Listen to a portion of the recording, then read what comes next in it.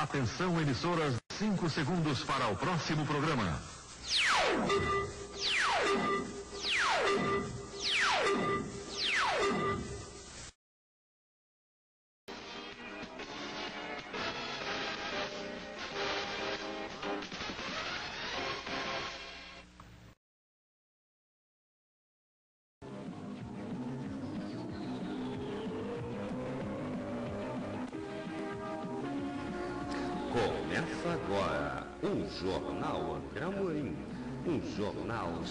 De notícias até o fim.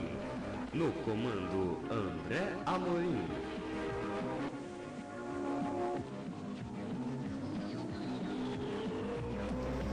Olá, muito bom dia, boa tarde, boa noite. Brasil! Vocês, tudo bem? A partir de agora, Jornal André Morim, jornal de notícias até o fim, edição 1964 de hoje, quinta-feira, 10 de maio de 2012, vamos às manchetes. Doméstica sem FGTS vai ter seguro-desemprego. Na sessão ataque, Vascão grande vale, agora pega o timão. Deputada gata diz que foi traída por ministro. Estas outras notícias de capa de dia você vai saber junto com algumas notícias do site Chico e com algumas notícias no proteja teus filhos.org. Hoje tem seu Coringa da promoção mini churrasqueira do seu jornal dia. Papai, o Arthurzinho ganhou um reloginho só para ele. Quando eu vou ter o meu, faça seu filho feliz com, a, com apenas 20 seus mais 9,90. É a promoção reloginho do dia do seu jornal dia. São diversos modelos para você escolher. Começa domingo. É mais uma promoção do seu jornal dia. Como o Rio dia você faz a alegria da criançada. Dê um presentão para o seu filhinho ou netinho, é verdade. E o Jornal André Morim começa agora. Estas e outras notícias você vai saber logo mais no Jornal André Morim que já está no ar para você.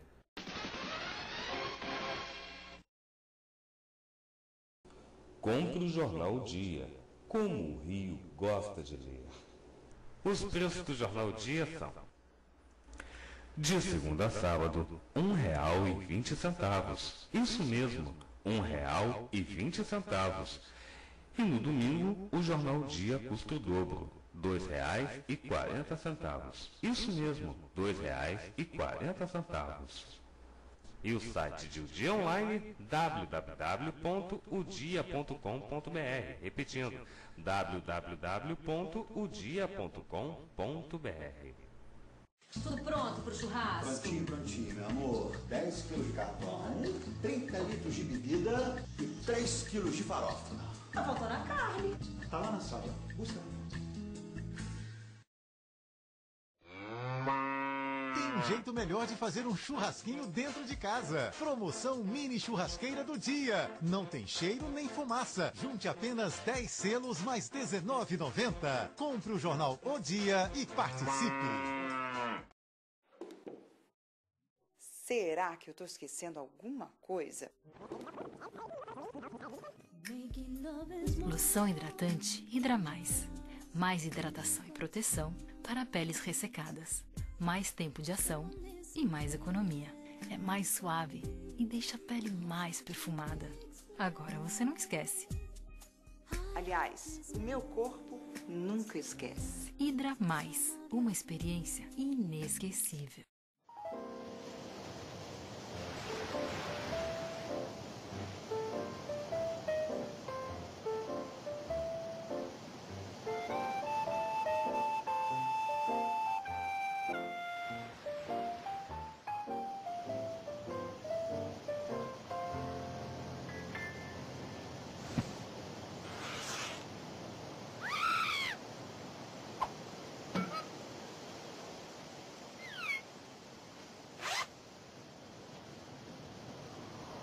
Quem quer um Hareburger?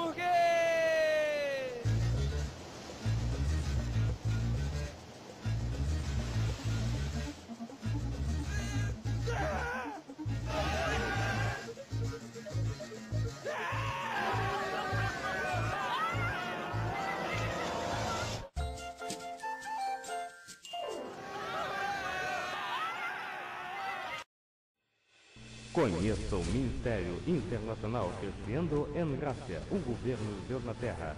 Sede Nacional, Rua Barão do Bom Retiro, 88, Engenho Novo, Rio de Janeiro. CEP 20.715-003.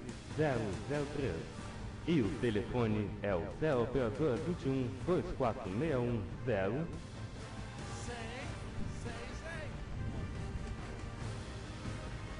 Tecla 1, atendimento. De segunda a sexta, das 10 às 6 da tarde. Tecla 2, gravar comentário, elogio, sugestão ou crítica. Reuniões, sexta-feira, 7 e meia da noite e domingos às 10 da manhã. E o e-mail brasil.cagbrasil.com e o site www.cagbrasil.com. Receba sem limites porque você é um abençoado com todas as bênçãos espirituais. Melhor dia, melhor tarde e melhor noite da tua vida, abençoado. Assim te declaramos, porque tudo te obra para o bem. Quer conhecer Deus? Ele está aqui na terra.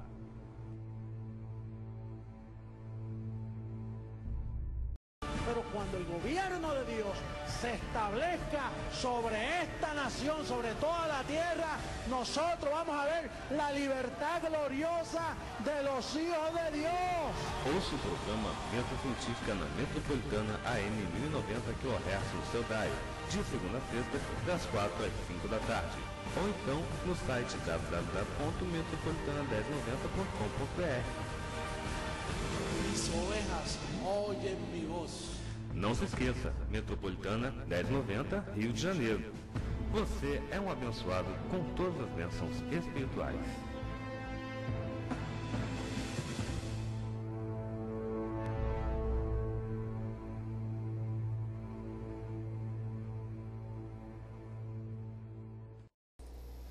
Madrugada com Jesus Cristo Homem na Rádio Metropolitana, AM 1090 kHz, Rio de Janeiro.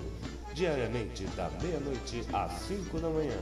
Ou no site www.metropolitana1090.com.br. Programa A Ciência de Deus do Ministério Crescendo em Graça de Nova Iguaçu, na Rádio Tropical AM 830 kHz. Sábados, da 1 às 2 da tarde. Ou então no site www.tropical830am.com.br. Você é um abençoado com todas as bênçãos espirituais.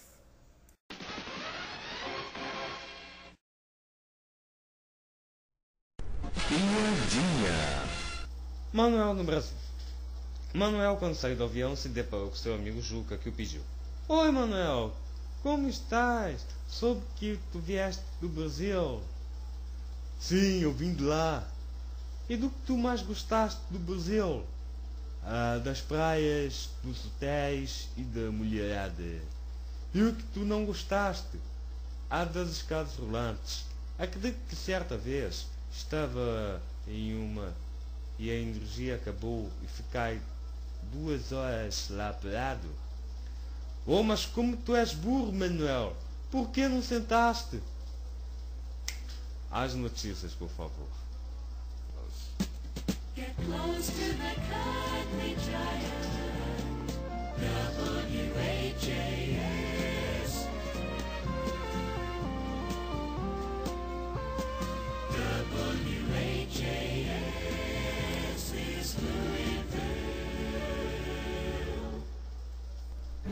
Jornal André Amorim. Oi, oi, oi, oi.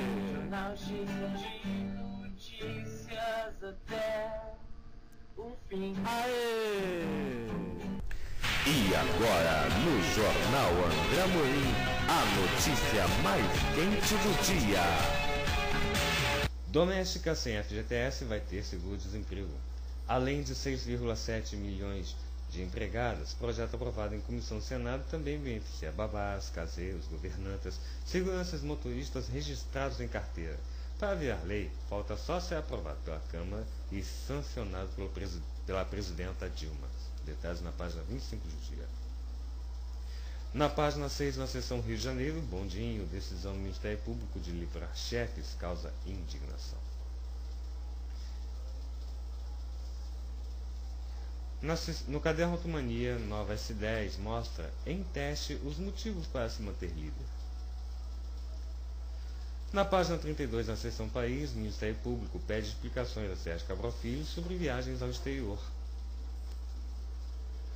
Nas páginas 4 e 5, na seção Rio de Janeiro, Thor participou de corrida com Ferrari de um milhão e meio de reais e atingiu 309 km por hora.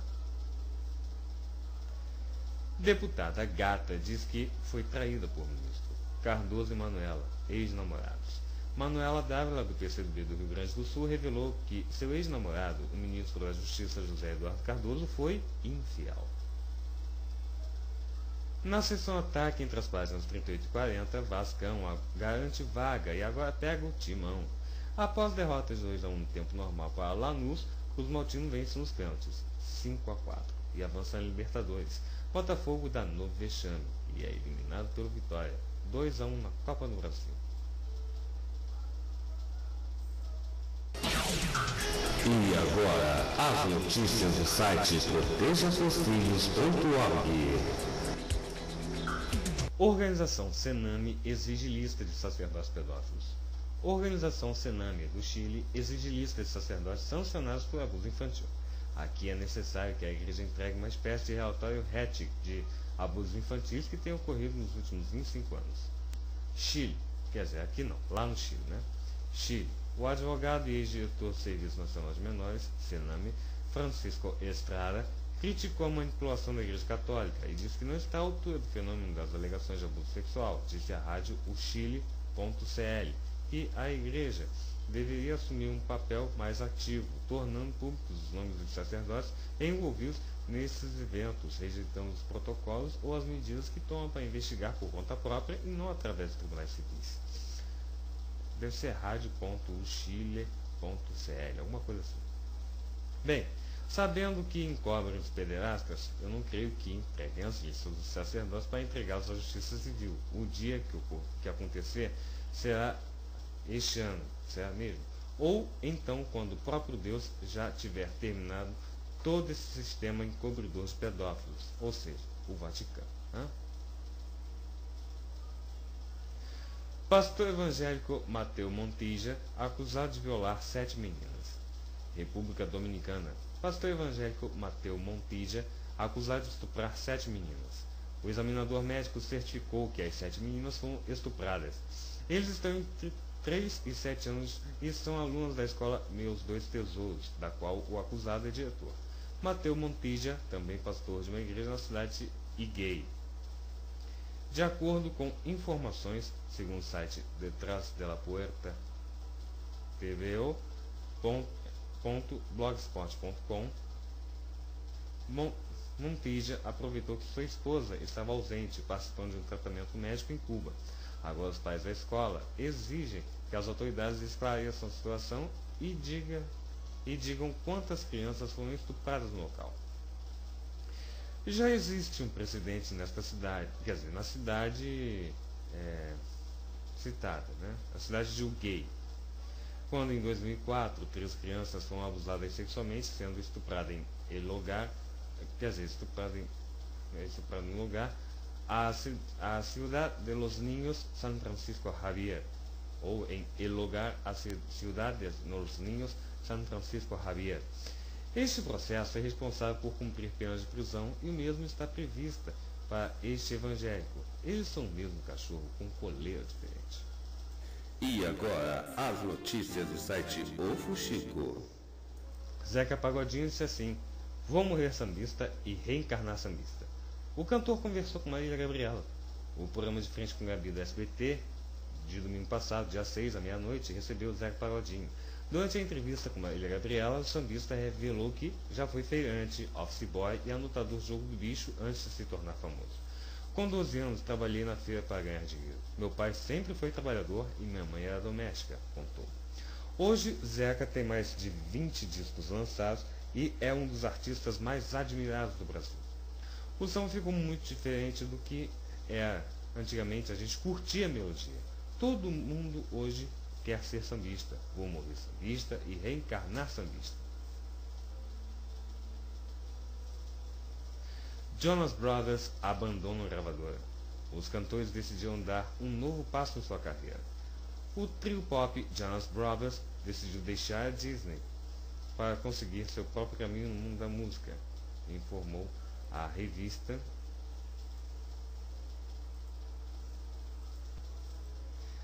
Billboard. Por meio de um comunicado, a banda formada pelos irmãos Nick, Kevin e Joe Jonas confirmaram que estão saindo da Hollywood Records após trabalharem juntos por seis anos na companhia. O grupo pretende fazer uma mudança em sua carreira e por isso esta importante decisão é um dos primeiros passos para amadurecer seus projetos. A notícia surpreendeu os fãs que se manifestaram nas redes sociais apoiando a decisão dos irmãos de Nova Jersey, ou Nova Jersey, né? ou New Jersey, como que. Né? Um dos próximos projetos da banda será protagonizado por Kevin, que, junto com sua mulher, vão atuar em um reality show sobre sua vida conjugal. Filha de Whitney Houston estreia na televisão. Bob Christina atuará na série For Better or Worse. Bob Christina, filha de Whitney Houston, começará sua carreira artística na televisão como atriz do seriado For Better or Worse do canal TBS nos Estados Unidos, de acordo com a revista OK. A publicação garante que os esforços da família da jovem para orientá-la a deixar as drogas deram resultados, pois ela acaba de assinar um contrato para estar em uma temporada completa da série. Tyler Perry, amigo incondicional da falecida cantora, foi quem tomou a decisão de ajudá-la e incluí-la incluí no elenco, no qual ela dá a vida à filha de uma das protagonistas. Letícia Colim faz leitura de peça no Rio. Alexandre Barilari também participou da leitura de A Tempestade. Na noite, desta segunda, na noite de segunda-feira, dia 30 de abril, Letícia Colim e Alexandre, Barilari participaram da leitura da peça A Tempestade, no Jardim Botânico, na cidade do Rio de Janeiro. Anna Hickman conta que marido não foi seu primeiro homem, a apresentadora da entrevista polêmica ao CQC. Anna Hickman polemizou mais uma vez. A apresentadora comentou em entrevista ao repórter Felipe Andrioli do CQC que não perdeu a virgindade com o marido Alexandre Correia. O repórter perguntou se ela havia perdido a virgindade com o marido, já que se casou com 17 anos. Ela respondeu que não, e ainda revelou que Correia não foi o segundo nem o terceiro homem da sua vida. Andrioli brincou com Ana Hickman, que disse que Marcelo Tass sabe de sua história amorosa, já que ela concedeu entrevista à primeira vez CQC anos atrás. E agora, a última do Jornal André Morim. E a última do Jornal André Morim, jornal cheio de notícias até o fim, amigo revela por que Adele está emagrecendo. Supostamente a cantora só abandonou as bebidas alcoólicas. Depois dos boatos de que teria feito uma cirurgia estética para emagrecer, um amigo de Adele revelou o segredo da cantora para ter conseguido perder alguns quilinhos. De acordo com Alan Carr, a única coisa que sua famosa amiga fez foi deixar as bebidas alcoólicas. Carr assegurou que Adele, ou Adele, como queira, come de tudo, inclusive costuma jantar fast food, sem se importar com as calorias. Após sua cirurgia nas cordas vocais, Adele, ou Adele, começou a perder medidas, mas seu representante garantiu que ela não submeteu a nenhuma plástica. Muito bem, muito obrigado pela companhia e pela audiência. O Jornal André Morim, edição 1964 de hoje. É, quarta-feira, não, quinta-feira, quer dizer, dia 10 de maio de 2012. Fica por aqui. Um super beijo para vocês. Um forte abraço e até amanhã, se Deus quiser. Tchau, pessoal. A gente se vê por aqui. Melhor dia da tua vida, pessoal. A cobertura angelical contigo, hein? Assim é. Tá bom.